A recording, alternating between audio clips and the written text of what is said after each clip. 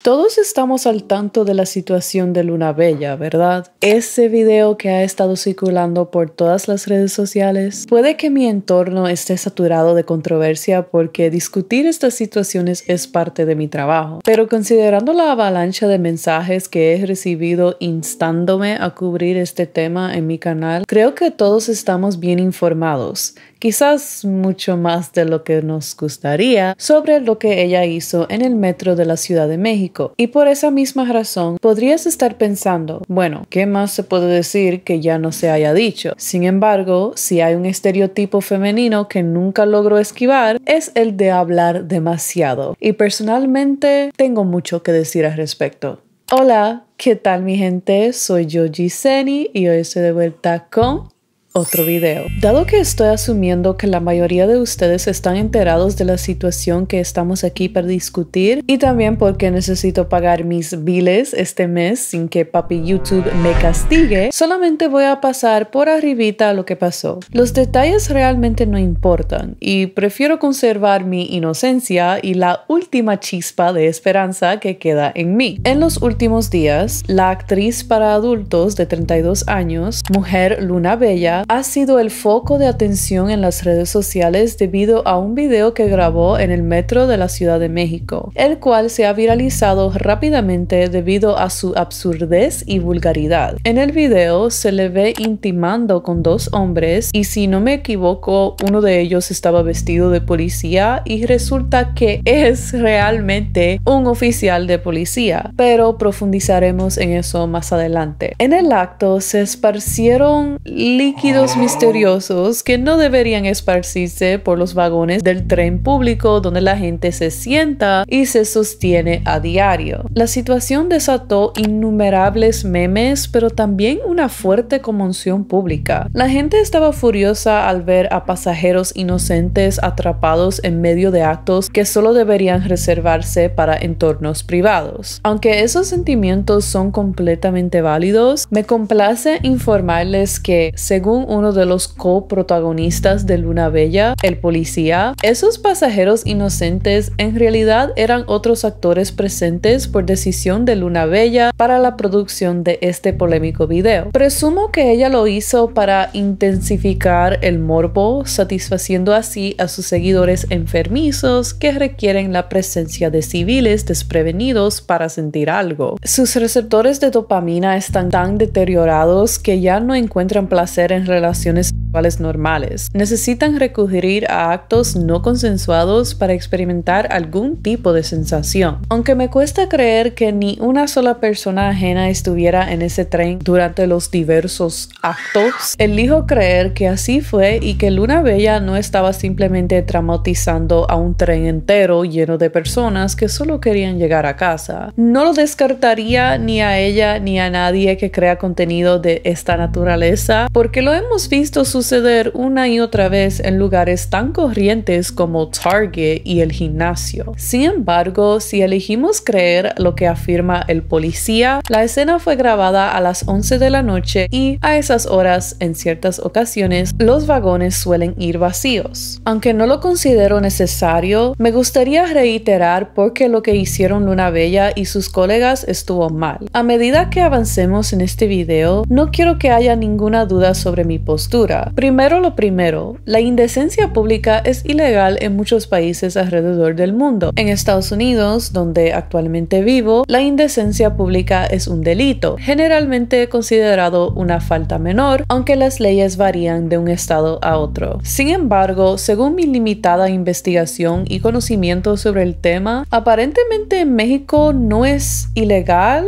a menos actually que alguien que haya presenciado el acto se sienta incómodo. En ese caso se consideraría hostigamiento sexual o agresión sexual lo cual es punible por la ley. Según un artículo que leí en el financiero.com, de acuerdo con la abogada Leslie Jiménez, tener relaciones sexuales adentro del metro y grabarse voluntariamente no es un delito. Sin embargo, cuando la grabación va en contra de la voluntad de la gente, en este caso de los usuarios del metro, sí se puede tratar de un caso de agresión sexual. La polémica del video se desató porque se realizó tanto en andenes de la estación Instituto del Petróleo de la línea 7, así como dentro de uno de los vagones. Dicha situación pudo haber obligado a las personas a ver el encuentro en contra de su voluntad. Jiménez señaló que esta clase de eventos puede afectar el desarrollo psicosexual de las personas y, en caso de que existiera incomodidad o una experiencia desagradable, se podría presentar una denuncia. Entonces, técnicamente, si alguien ajeno a la producción presenció los actos, podría potencialmente presentar cargos contra Luna Bella y sus colegas, a pesar de que el acto en sí mismo no sea ilegal. Ahora que estamos hablando de legalidades, quiero dejar muy claro que yo no rijo mi moralidad en las leyes. Por supuesto, muchas leyes están hechas para condenar las faltas morales más básicas y fundamentales, pero ha habido muchas leyes en el pasado que definitivamente no seguían ningún código moral. Y hay leyes que aún no existen y que deberían haberse implementado hace mucho tiempo. Por ejemplo, creo que la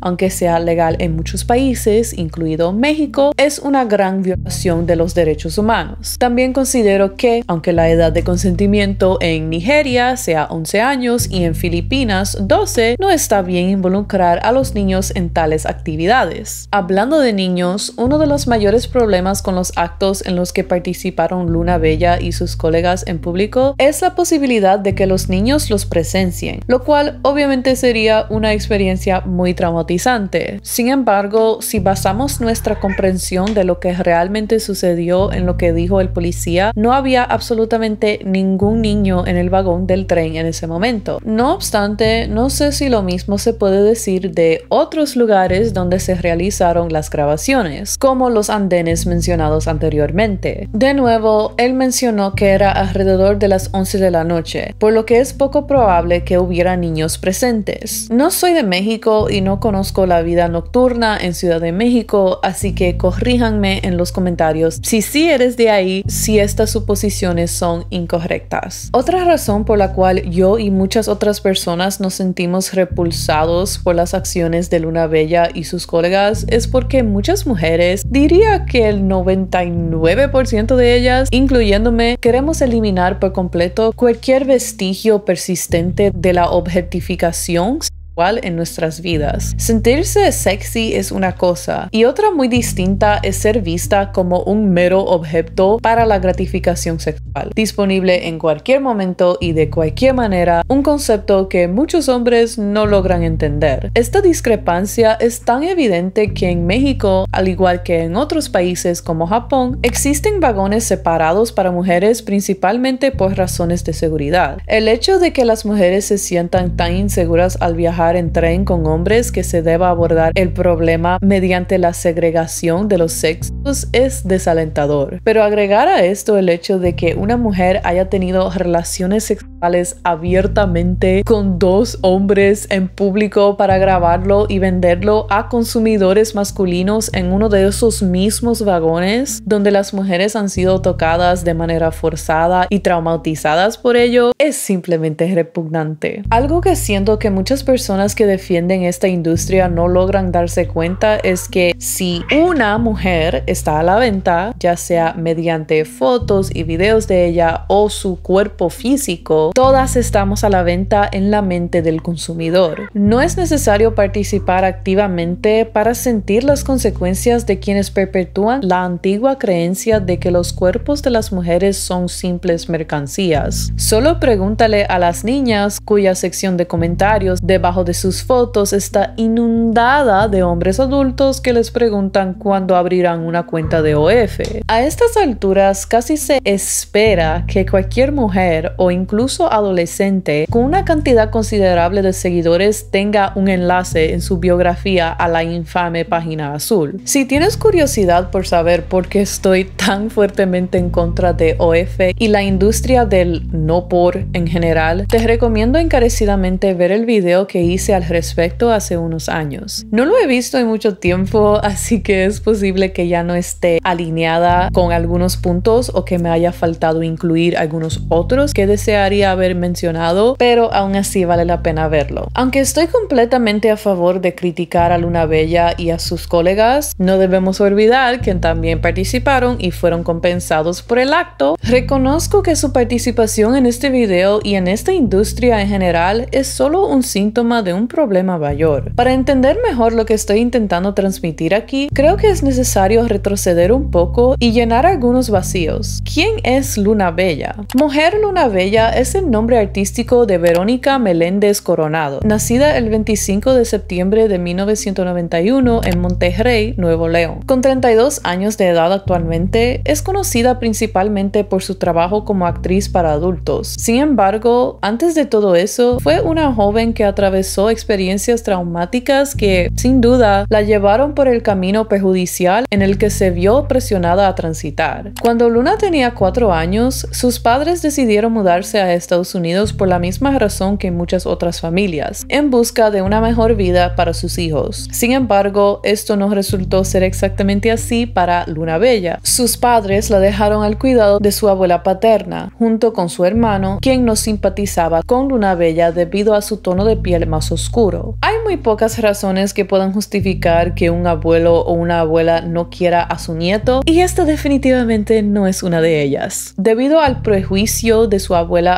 ella, comenzó a tratar a Luna Bella de manera cruel, prácticamente convirtiéndola en su sirvienta. La obligaba a hacer mandados en horas peligrosas de la noche, sola y descalza. Además de todo esto, también sufrió abusos físicos y era frecuentemente aislada. Ser golpeada y luego encerrada en un cuarto oscuro era el método preferido de castigo de su abuela. En aquella habitación oscura fue donde nació su nombre artístico. Una noche, Luna, o debería decir Verónica, extrañaba desesperadamente a su mamá y anhelaba más que nunca hablar con ella. Comenzó a suplicarle al cielo para que su deseo se hiciera realidad, y en ese momento se giró y vio la luz de la luna filtrándose por un pequeño orificio. La luna se convirtió en su calidez y compañía en aquel cuarto frío y oscuro. Esta sensación de ser hija de la luna y la luz le brindó la fortaleza para sobrellevar su estancia de otro modo insoportable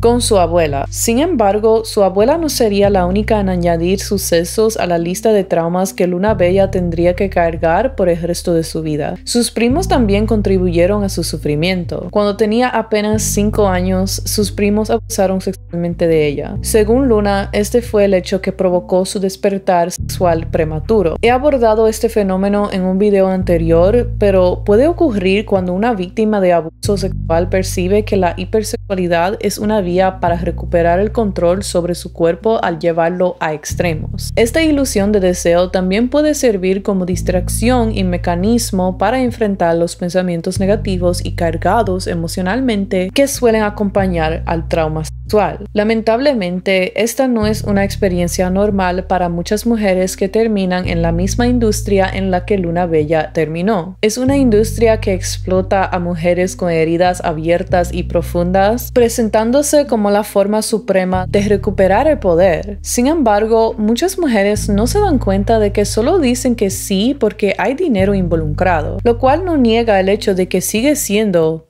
de hecho, una violación. El consentimiento no puede comprarse, eso sería simplemente coerción. La aceptación del dinero por parte de la mujer se interpreta como consentimiento para participar en cualquier acto de naturaleza sexual que siga. Si este concepto se aplicara a otras víctimas de agresión sexual, entonces las mujeres por sus esposos o adolescentes abusadas por sus padres, por ejemplo, serían vistas como consintiendo el abuso porque aceptan consideraciones monetarias de sus agresores en forma de comida, alojamiento y posiblemente dinero en efectivo. Poco después, los padres de Luna regresaron por ella y su hermano. Finalmente tuvo la oportunidad de hablar con ellos y les contó lo sucedido con sus primos. Sin embargo, su padre se negó a creerle porque eran sus sobrinos. Su madre, en cambio, era muy sumisa, así que simplemente respaldó la opinión de su esposo. Cuando Luna cumplió 13 años, varios chicos de la secundaria comenzaron interesarse por ella, pero su padre se mostraba muy en contra. Llegó al punto de amenazarla y golpearla por ello. Esta situación hizo que Luna viviera con el constante temor de recibir la más mínima atención de un chico, sabiendo bien las consecuencias que esto acarreaba para ella. Golpes con mecates, cables, palos, lo que sea, hasta hacerla sangrar. Su padre le advirtió que si quedaba embarazada, llegaría incluso a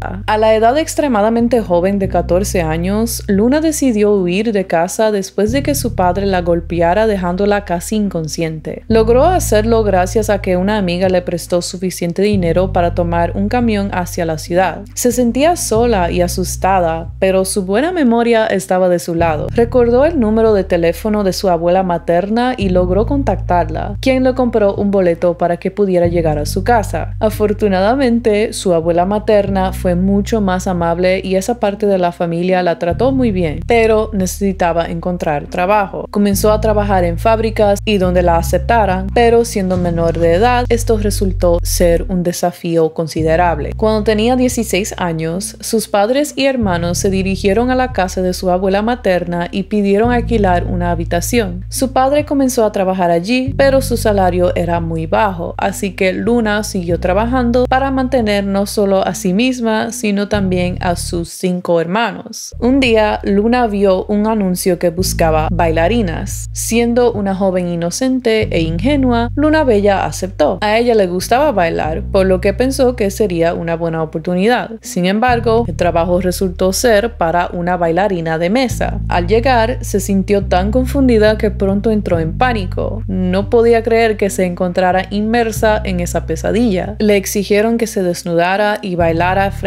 a hombres adultos, uno de los cuales la seleccionó para un baile privado. En un estado de pánico, cubrió su cuerpo desnudo con una cortina y huyó del lugar. Tras esa experiencia, Luna Bella investigó en internet sobre este oscuro mundo del que desconocía y descubrió que la podía ofrecerle grandes ganancias. Desesperada por una vida mejor para ella y sus hermanos, se lanzó de lleno. Se sumergió en ese mundo y comenzó a trabajar como dama de compañía. Los hombres con los que salía le ofrecían grandes sumas de dinero a cambio de algo más si me entiendes. Y gradualmente ella accedió. Este trabajo la llevó al mundo del no por, que para ella representaba un refugio seguro en comparación con la vida en las calles y en prostíbulos, expuesta a innumerables riesgos. Como todos sabemos ahora, vende contenido en OF y también ha creado su propia empresa y sitio de redes sociales llamado Priv, que pretende competir con OF. Todos estos detalles sobre la infancia de Luna Bella fueron recompilados de un hilo en Twitter creado por el usuario arroba Antonio Rau, quien a su vez obtuvo esta información de una entrevista que Luna Bella concedió hace cuatro años a la creadora de contenido de YouTube arroba soy Fernanda Blas. A pesar de haber tenido una infancia traumatizante, cruel, fría y perturbadora, Luna Bella parece estar financieramente estable y feliz. Sin embargo, heridas tan profundas como las suyas definitivamente deberían ser atendidas y tratadas con ayuda profesional cuando ella esté lista para recibirla y si aún no lo ha hecho, claro. No estoy en posición de hablar sobre los verdaderos sentimientos de Luna Bella respecto a su forma de ganar dinero. Sin embargo, ella misma ha expresado en ocasiones sentimientos negativos al respecto. Desgraciadamente soy un objeto sexual,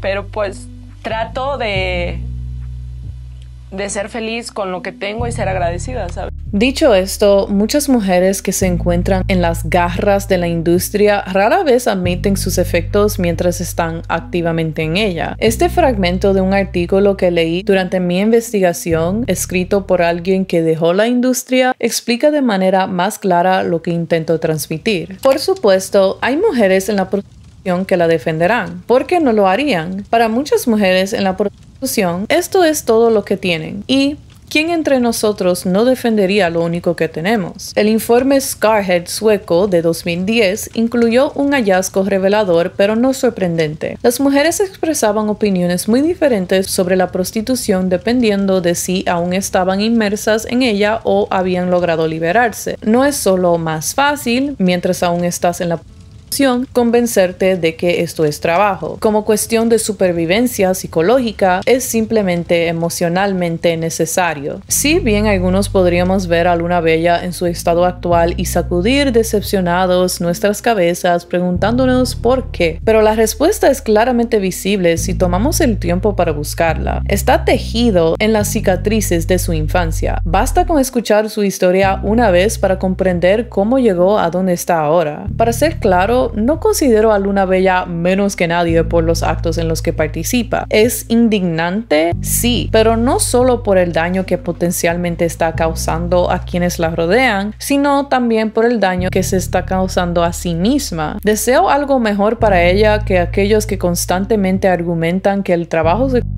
es simplemente eso, trabajo, porque sé que la prostitución en la cual se incluye el ser estrella no por o modelo de OF es una opresión monetizada, disfrazada débilmente bajo el concepto de liberación sexual. En palabras de una ex prostituta, la verdad es que no hubo trabajo involucrado en lo que nos hicieron en la prostitución. La prostitución no es ni sexo ni trabajo. El sexo no solo implica mutualidad, la requiere. El sexo en la prostitución carece de mutualidad y el dinero se introduce para llenar ese vacío. En la prostitución, el dinero es la fuerza coercitiva, la evidencia de la coerción y el gran silenciador al mismo tiempo. ¿Qué derecho a queja se supone que tiene una mujer cuando ha sido compensada por su propia en el nivel más básico, que un extraño invada nuestro espacio personal causa una reacción de estrés. Dado que todos lo saben y todos los que lo experimentan reaccionan instintivamente a ello, ¿cómo es que tantas personas se engañan creyendo que los cuerpos de las mujeres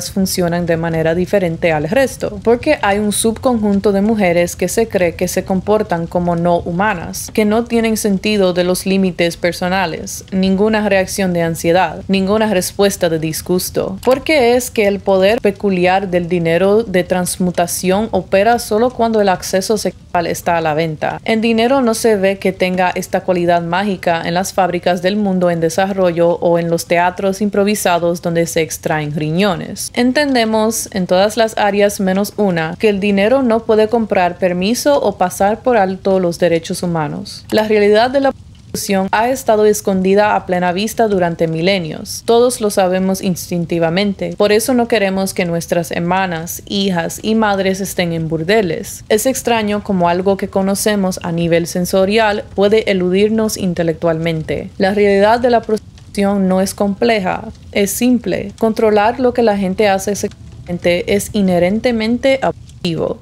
Como sociedad intentamos simultáneamente tratar el trabajo sexual como un trabajo normal, pero nos horrorizamos y nos escandalizamos cuando se realiza en público para que lo vea todo el mundo. Sabemos que esto no es comparable a grabar una escena para una película de las tortugas ninjas, pero aún así nos aferramos a la idea de que este trabajo es igual que cualquier otro. Aunque he estado hablando de ella durante la mayor parte del video, este video no se trata de Luna Bella. Ella no actuó sola, lo hizo junto a otros actores que forman parte de la misma industria corrosiva que daña a tantas mujeres y hombres, aunque de diferentes maneras. Aunque el efecto del no por y la industria que la sostiene es mucho más perjudicial para las mujeres, sigue siendo devastador para los hombres y también para las mujeres en sus vidas. El no por puede desencadenar la liberación de dopamina en el cerebro, provocando sensaciones de placer. Además, cuando alguien experimenta un su cuerpo libera endorfinas, que también generan sensaciones placenteras similares. Sin embargo, el consumo regular de Nopor puede llevar al cerebro a producir demasiada dopamina, lo que puede resultar en el cierre de los receptores de dopamina. Esto dificulta la capacidad de experimentar placer desde otras fuentes y puede llevar a una necesidad de consumir más Nopor para alcanzar el mismo nivel de satisfacción. Esto lleva a la adicción al Nopor y como todos sabemos, una adicción nunca puede saciarse. Por eso, Luna Bella y su equipo decidieron grabar este video en público. Por eso necesitaron la participación de dos hombres en lugar de uno. Y por eso involucraron a transeúntes inocentes. No basta con ver a una mujer desnuda después de tantas noches con el teléfono en la mano, deslizándose por un mar infinito de mujeres al alcance de un dedo. Es por eso que incluso cuando estos hombres que financian en privado a los creadores a quienes públicamente avergüenzan se encuentran con una mujer real y física en el acto, no quedan satisfechos. Ella no puede transformarse constantemente en diferentes tipos de cuerpos, tonos de piel, ni realizar la cantidad infinita de actos que las mujeres en sus videos amados fueron entrenadas, forzadas o coaccionadas a hacer. No importa cuánta lencería usen ni cómo moldeen su cuerpo para complacer a su pareja adicta al no por, nunca será suficiente. Ni siquiera la infinidad de mujeres en esos videos son suficiente. Por eso siempre regresan, deslizándose incansablemente en busca de una dosis de dopamina similar a la que sintieron la primera vez. Muchos hombres se quejan constantemente de esta industria y no los culpo, de verdad que no. Sin embargo, son ellos los que mayoritariamente la financian. No se puede esperar la abolición de toda una industria mientras se es un consumidor ávido de su producto. Sin oferta, no hay demanda. Luna Bella ha ganado más de 100 mil seguidores en Instagram por esto. Muy probablemente tal como ella lo predijo cuando concibió la idea para el video. Hablando de la falta de responsabilidad de los hombres en esta industria, los dos hombres que participaron en los videos no han recibido tanta crítica como Luna Bella, a pesar de que uno de ellos, el oficial de policía, ya había protagonizado otro video similar en un tren público anteriormente. Este hombre Jorge López Villegas, también conocido como el Señor Indomable, ha sido suspendido de su trabajo como policía, enfrentando críticas en ese ámbito, pero socialmente Luna Bella ha sido la más criticada. Si bien la misoginia juega un papel crucial en la prosperidad de la industria del no por, existen muchos otros factores en juego que podemos ver en las historias tanto de Luna Bella como de Jorge. Uno de estos factores es la pobreza, una cuestión social intrínseca que es crucial para que la industria no solo prospere, sino que exista. Como mencioné antes, Jorge es un oficial de policía real y solo recibe un salario de 16 mil pesos mexicanos al mes por ese trabajo. Esto equivale aproximadamente a 905 dólares estadounidenses, una suma insuficiente para sostenerse a sí mismo y a sus cuatro hijos menores de edad. Cuando las personas están desesperadas y necesitan sobrevivir, se ven impulsadas a realizar acciones que de otro modo nunca considerarían. Aunque condeno las acciones de todos los involucrados en la creación de este video, entiendo los factores depredadores que han influido en ellos para que estos actos les parezcan aceptables en sus mentes. La industria del desde cualquier perspectiva que se analice, es una que no debería existir. No beneficia a nadie, ni al consumidor a pesar del placer, ni al proveedor a pesar del dinero. Al aceptarla como un simple trabajo en lugar de crear oportunidades más dignas para aquellos menos afortunados, permitimos que se lucre con su opresión. Los elogiamos por ello, pero en secreto rezamos para que nuestras madres, hijas y hermanas nunca se encuentren en esa situación. Pero eso es solo lo que yo pienso. ¿Qué piensas tú? Bye.